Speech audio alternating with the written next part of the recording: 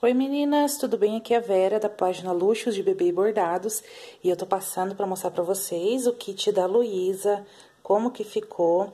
Aqui é presente da vovó e da tia e eu vou mostrar para vocês o que que elas escolheram. Essa toalha aqui é encomenda da avó. Ela pediu bordado somente no capuz, então tá só aqui. Aí o desenho é grande, então eu fiz o nome bordado no tecido e apliquei. É forrado de fralda, a toalha é aveludada e forrada por dentro de fralda também. E essa toalha aqui vai usar por muitos anos, muito tempo, que ela é bem grandona. Aí a tia escolheu mais uma toalha de fralda, ela é dupla, então são duas toalhas para ela ficar mais grossa. E aí também não tem bordado é, dos lados, só tem bordado no capuz.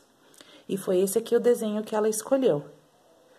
E aí no amarelo eu não tinha feito ainda nenhuma toalha, eu achei bem bonita, eu gostei.